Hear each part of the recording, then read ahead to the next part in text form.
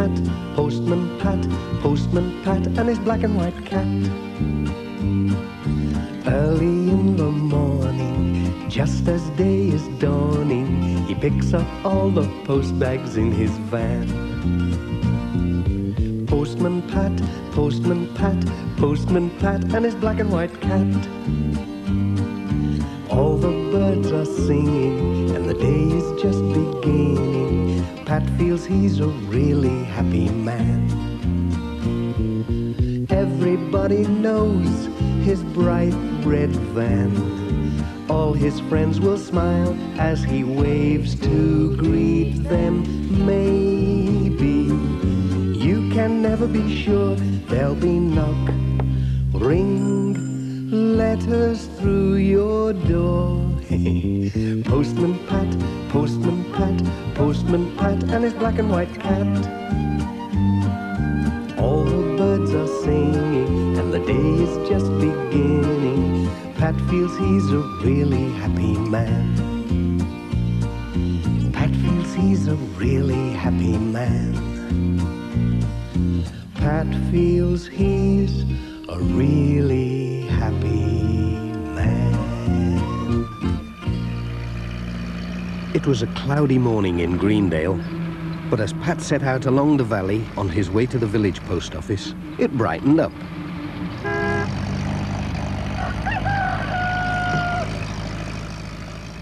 A large van was parked in the narrow road. It was Sam's mobile shop. It was going to be a tight squeeze getting past. Come on, straighten up. Come on, you could get a bus through there. Plenty of room. Hello, Sam. Thanks. Could you, uh, could you give these to Mrs. Atkinson, please? Right, old Pat. Mind how you go. Oh dear. I think we're stuck. It's all that rain. It's made the ground boggy.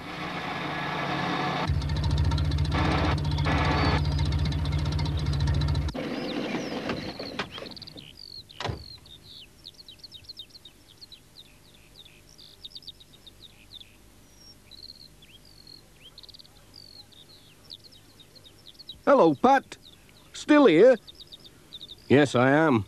I'm, I'm stuck in the mud. I'll give Pete Fogg a shout as I go past. He can tow you out with his tractor. Hang on. Thanks, Sam. Ah, well. Looking at life through a farmer's eyes, always aware of the changing skies, the wind and the rain, they all make their claim as he plows and he sows and sets seeds into rows. He sees all the wonders that nature can bring as he works all the year to bring rich harvests in. Looking through a farmer's eyes, always aware of the changing skies. Hedgerows with birds, wild animals and trees. In the bright summer sun, he sees busy honeybees, and he's working with nature as all round the farm. He'll try to make sure good things come to no harm. Summer and winter, seasons all through, there's never a time when there's nothing to do. Setting the crops and preparing the land, he always can do with a good helping hand.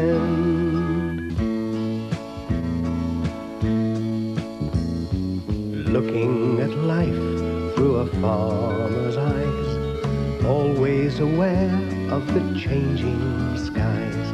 He works between forests and valleys and hills, or the flat even plains with an unbroken view. But wherever it is, still the farmers can claim that they work for our bread with their harvests of grain. Wherever it is, the farmers can claim that they work for our bread with their harvests of grain.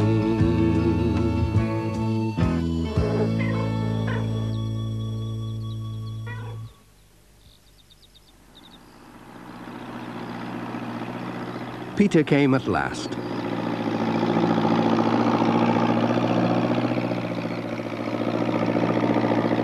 Hello, Peter. Can you tow me out, please? My van's stuck in the mud. Easy. Sam said you'd need help.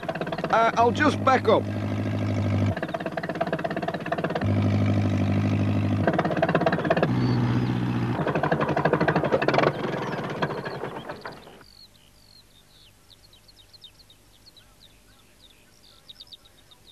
Now then, uh, just tie it on there. Right.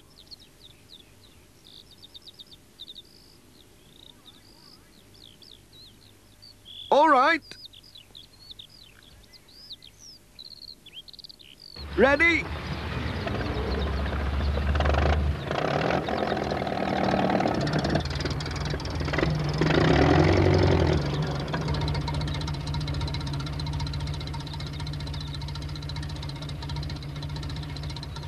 Bye. Thanks a lot. Pat was on his way again.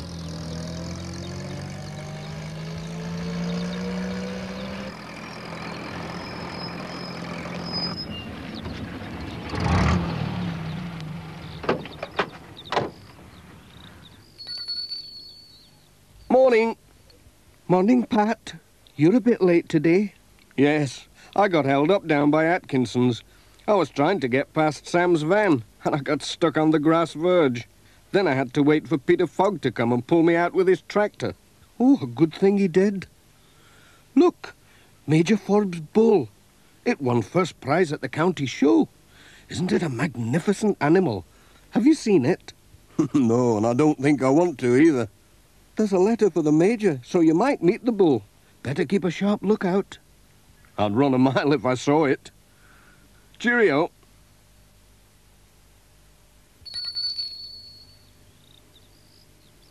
Dee dum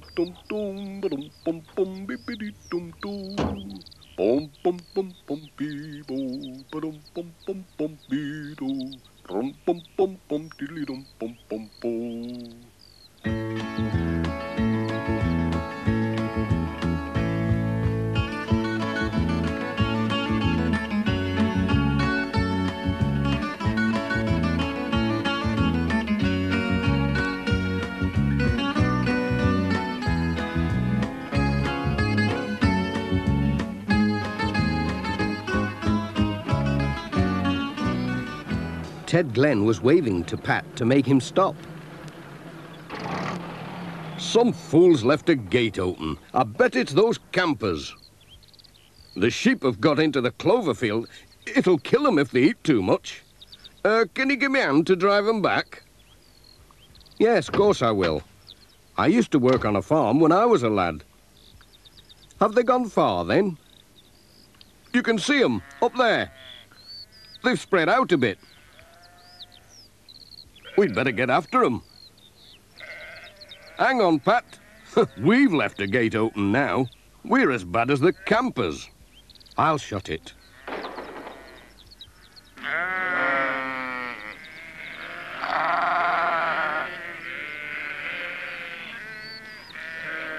Uh, you go that way, and I'll go this.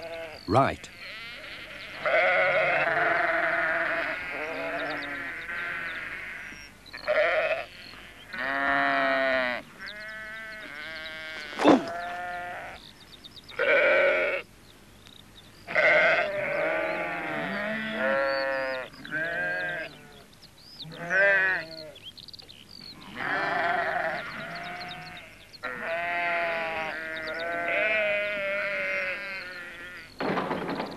Phew. That was warm work. What's that funny noise? Hey up! It's that bull! Run!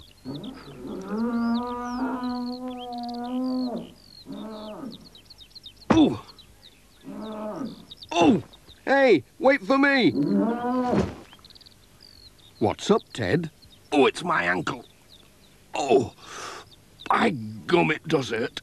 Ouch! I can't get up. I think I've broken it.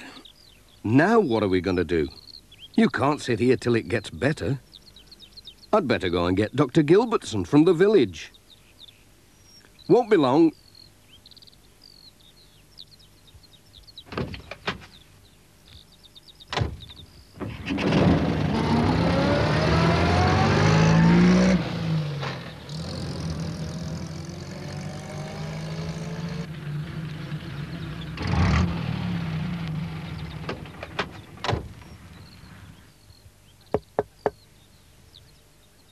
Pat gave Dr. Gilbertson her letters and told her about Ted's broken ankle.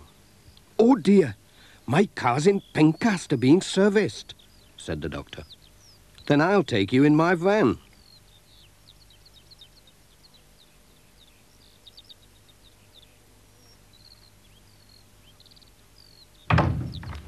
So Dr. Gilbertson brought her bag. She sat in Jess's place Ted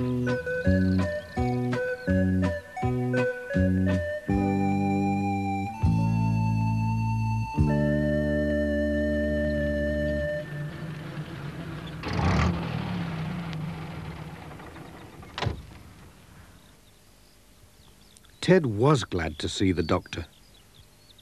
Oh! Ooh! Ouch!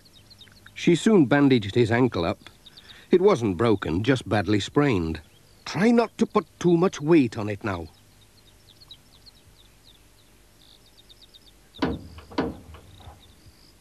Pat's walking stick came in handy.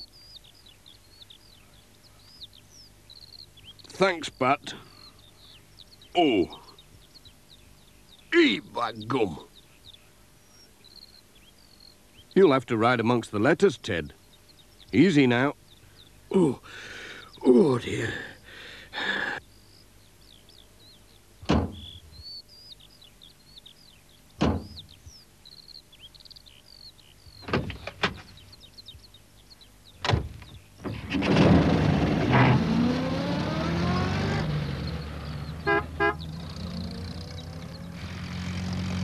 Jess rode on Dr. Gilbertson's knee until they arrived back at the surgery.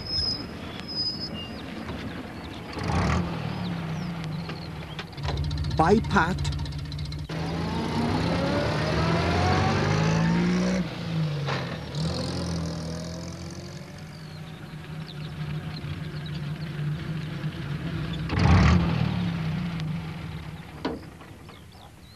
Ted was glad to get home. You all right now? I'll manage. Thanks for helping. Cheerio. Bye. Pat was on his way again. He still had a lot of letters and parcels to deliver.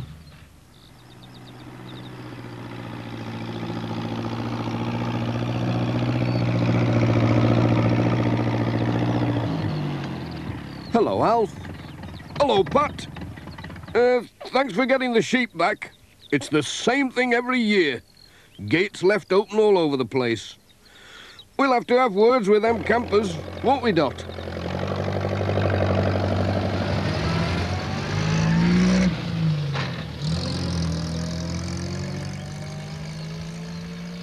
What a morning, Jess. Rounding up sheep, dodging bulls, fetching doctors. And now we're late with all this post. We'll have to get a move on this afternoon.